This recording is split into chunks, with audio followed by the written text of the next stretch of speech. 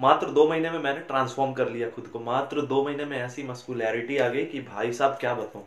मान लिया भाई, दो महीने में तुमने कर लिया स्टेरॉइड ले लिया डायनाबॉल चला लिया, कुछ भी कर लिया।